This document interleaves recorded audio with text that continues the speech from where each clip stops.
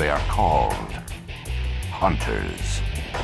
Men and women imbued with the power to battle evil hidden in the darkness of our world.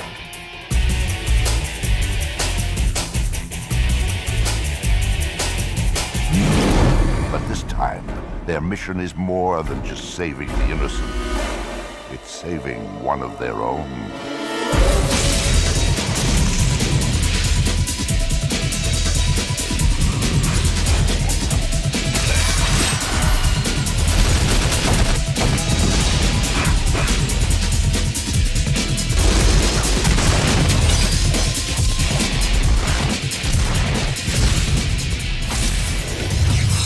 Hunter, The Reckoning.